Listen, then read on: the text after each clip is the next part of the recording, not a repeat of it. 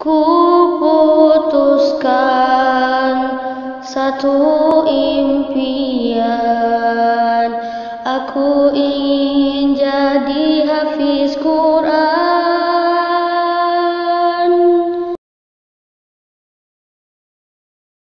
Bismillahirrahmanirrahim. Assalamualaikum warahmatullahi wabarakatuh Alhamdulillahi wa kafa Wassalatu wassalamu ala rasulillahil mustafa Wa ala alihi wa sahbihi wa man wafa amma ba'du Apa kabar anak-anak bapak yang solih solihah Semoga kita semua selalu diberi kenikmatan iman, Islam, hidayah, serta keistiqomahan dalam membersamai Al-Quran. Amin. Kembali lagi bersama Pak Ahmad dalam pelajaran tahfidz dan tahsin. Kegiatan kita hari ini adalah murajaah surah Al-Mulk dari ayat ke-25 sampai ayat ke-27. Kemudian menambah hafalan ayat ke-28 sampai ayat yang terakhir yaitu yang ke-30. Dan membahas hukum-hukum tajwid yang ada pada ayat ke-28 sampai ayat ke-30. Namun sebelum itu semua, seperti biasa, mari kita awali kegiatan hari ini dengan berdoa terlebih dahulu. Bismillahirrahmanirrahim. Raditu billahi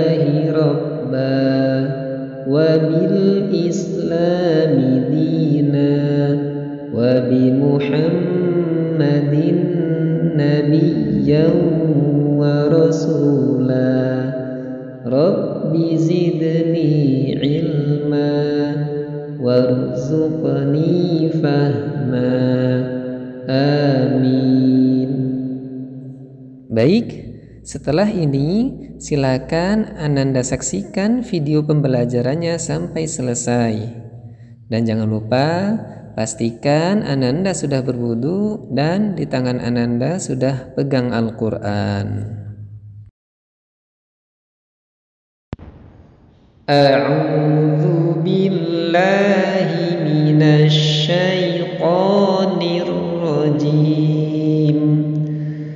Bismillah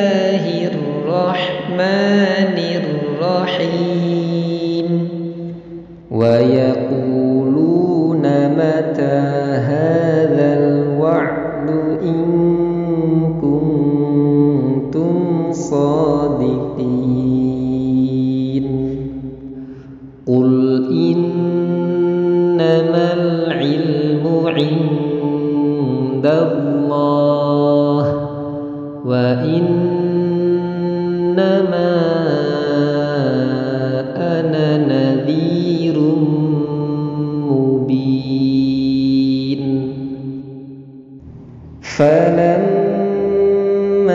رأوه زلفة سيئت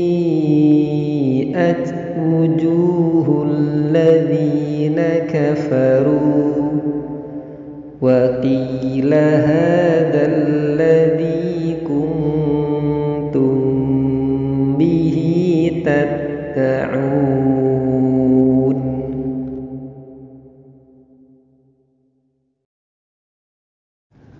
قل أرأيتم إن أهلكني الله ومن معي أو رحمنا؟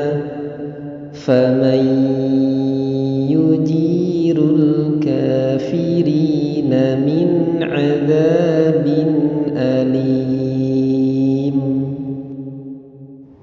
قل هو الرحمن آمنا به وعليه توكلنا فستعلمون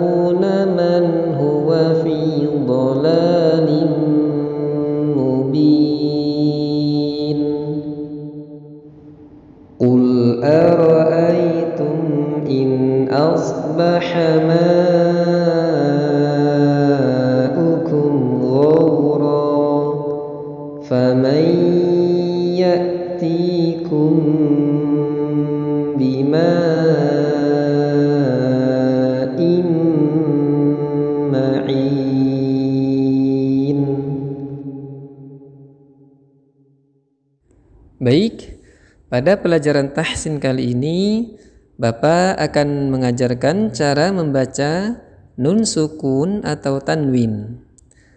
Seperti yang sudah kita ketahui, hukum nun sukun atau tanwin ada lima, yaitu idhar, idgham bi gunnah, idgham bila gunnah, iqlab dan ikhfa. Dan pada pertemuan yang lalu kita telah membahas hukum bacaan ikhfa dan izhar. Nah, pada kesempatan ini kita akan belajar terkait hukum bacaan idgham bi gunnah. Sebelum Bapak memberikan contoh hukum bacaan idgham bi gunnah, seperti biasa, Bapak akan jelaskan terlebih dahulu apa itu idgham bi gunnah. Yang dimaksud dengan idgham bi gunnah ialah dimasukkan ke dalam huruf berikutnya disertai gunnah atau dengung ketika bertemu salah satu dari empat huruf idgham bi gunnah yaitu ya, nun, mim dan waw. Nah, untuk lebih mudah mengingatnya bisa disingkat yanmu Nah, sekarang kita akan masuk ke contoh hukum bacaan idgham bi gunnah. Silakan Anda perhatikan surah Al-Mulk ayat ke-28. Di situ terdapat kalimat wa man ma'iya. Nun sukun bertemu huruf mim. Cara membacanya wa man ma'iya wa man Kemudian contoh berikutnya pada ayat ke-29. Bolalin mubin. Tanwin bertemu huruf mim. Cara membacanya Bolalin mubin. Bolalin mubin.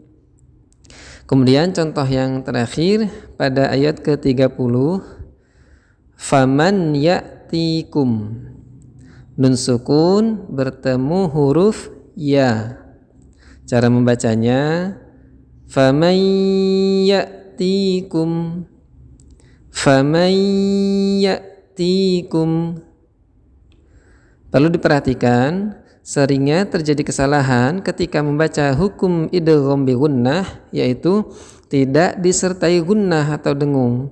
Contoh famayyatikum famayyatikum yang benar famayyatikum famayyatikum jadi ditahan sebentar minimal dua harokat atau dua ketukan seperti itu. Bapak rasa cukup sekian untuk pelajaran tahsin kali ini. Semoga anda semua sudah faham sehingga tidak terjadi lagi kesalahan ketika membaca hukum bacaan idgham bi gunnah.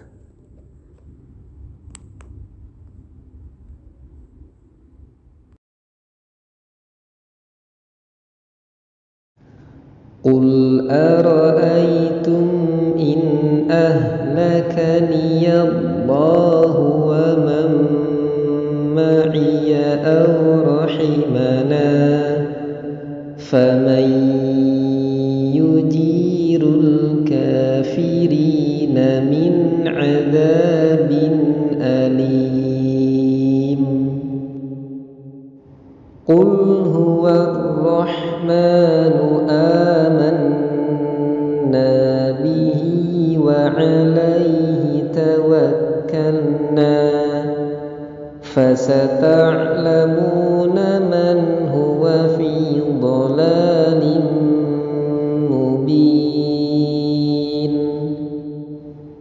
قل أرأيتم إن أصبح ماؤكم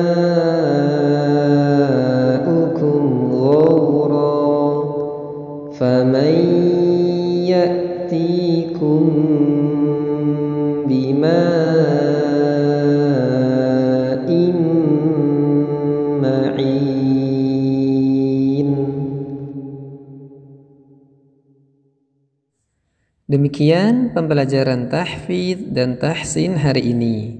Semoga kita semua dimudahkan oleh Allah dalam menghafal, menjaga, dan mengamalkan Al-Quran. Amin ya Rabbal Alamin. Baik, sebelum kita mengakhiri pembelajaran hari ini, Bapak ingin mengingatkan Ananda semua agar selalu menjaga sholat lima waktu, murojaah hafalan, membantu orang tua di rumah, dan jaga kesehatan. Mari kita akhiri pembelajaran hari ini dengan sama-sama melafalkan hamdalah dan kafaratul majlis. Alhamdulillahi rabbil alamin Subhanakallahumma wa bihamdika Ashhadu an la ilaha illa anta Astaghfiruka wa atubu ilaik Wassalamualaikum warahmatullahi wabarakatuh. Hmm.